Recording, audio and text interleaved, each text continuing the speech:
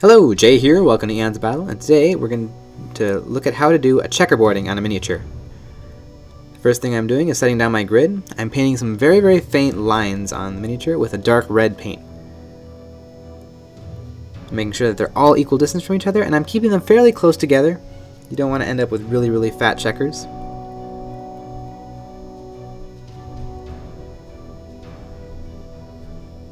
I then went and finished up the grid by applying the um, the opposite direction lines. You want to make sure that this is pretty faint, so that um, just in case there's any mistakes or mess ups, it's probably going to occur here, and then it'll usually be fixed when you apply the checkers. And as you can see, I'm now going in with my uh, same dark color and just filling in my grid.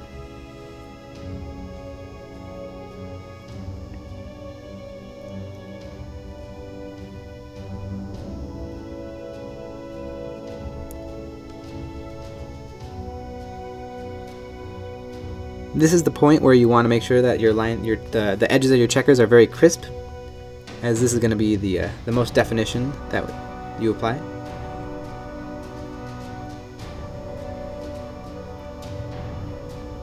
And now you have a big line on the edges of your checkers. So what you might want to do is go back and apply uh, another layer of checkers on the outside, so that there's no visible line of where you were placing the checkers.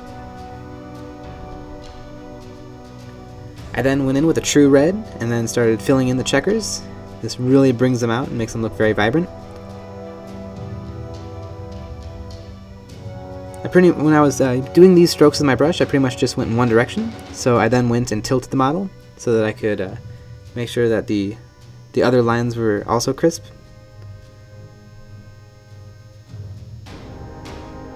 As you can see, I'm here, I'm just doing the opposite uh, stroke to um, help make sure that there is nice crisp lines on the edges of all of the checkers.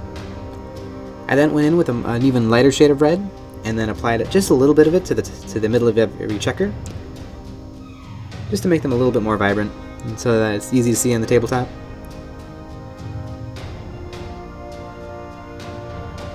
I really like big designs like this because it really adds a lot to a miniature and it looks good from across the table.